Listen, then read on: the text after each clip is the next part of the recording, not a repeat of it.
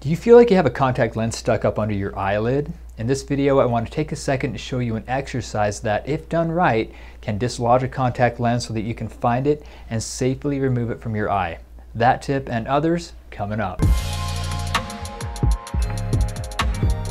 Hey guys, I'm Dr. Smith, and if you didn't watch my last video that discussed the fear that a lot of people have about getting a contact lens stuck behind the eyes, and if that can even happen or not, then you'll want to go back and watch that one after you're done with this one. So here's how that exercise goes. So if the contact lens is under the upper eyelid, start by looking down, then place your finger on the upper half of the upper eyelid and apply some gentle pressure.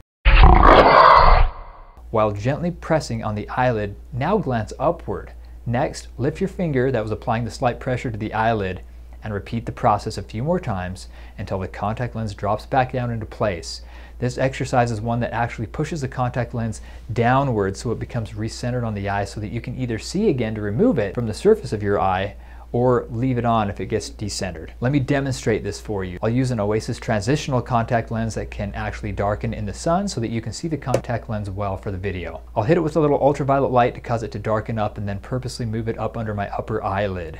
Now that it's stuck up under my upper eyelid, I'm going to start the exercise by first glancing downward, then applying some gentle pressure on the upper part of my upper eyelid. And with the pressure still there, I'll look up and then remove the pressure from my upper eyelid. I'll repeat this until I can see the contact lens again, and then with my fingers bone dry, and I might need to dry them off a bit after playing with my eyelids, I can easily remove the lens from my eye. If this doesn't work after the first few times, then try rinsing the surface of your eye with some preservative-free saline to perhaps moisten the contact lens and loosen it up a bit first. The more dry the contact lens is, the greater chance you'll have of the contact lens getting temporarily stuck to the surface of the eye. After rinsing with a few drops of saline, go ahead and repeat the exercise again. I'll leave a link in the description below for any products that I discuss. When you see the contact lens, be sure that when you take it off your eye, that you never brush the surface of your eye with any part of your fingernails.